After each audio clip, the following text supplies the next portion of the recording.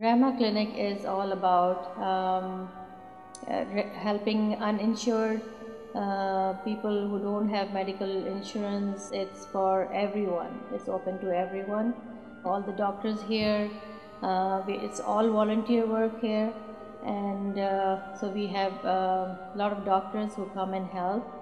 Idea started over 10 years ago to give back to the community, really, to, to expand on our wealth and how fortunate we are and how many unfortunate people in the community are, especially when it comes to health, which is such basic human rights. We see people suffering. So we started this uh, uh, great clinic. We've been almost starting our eighth year now into giving back. It's a free clinic. Um, my role as a fourth year is I'll be working here throughout the year with some other fourth year students, and our job is to help facilitate um, patient interactions, including teaching the first and second years about taking vitals, learning how to work with patients.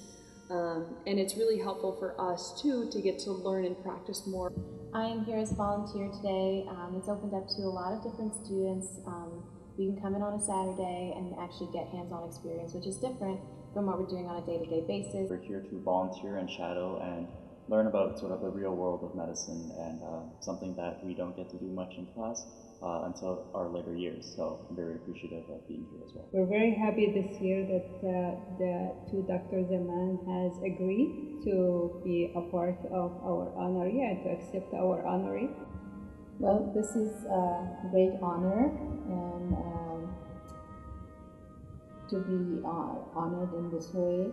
It is the greatest uh, gift because we've lived in this community for most of our adult lives and uh, gotten to know this community and uh, be a part of it.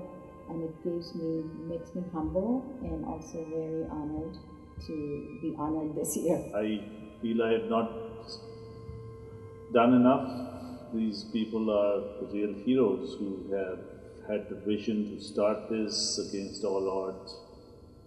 And uh, Khalda and I have contributed silently and sometimes actively to this.